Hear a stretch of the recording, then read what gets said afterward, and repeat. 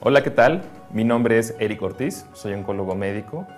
Los invito a formar parte de esta iniciativa La Casa Rosa, una iniciativa enfocada para pacientes con diagnóstico de cáncer, pero también a la población en general.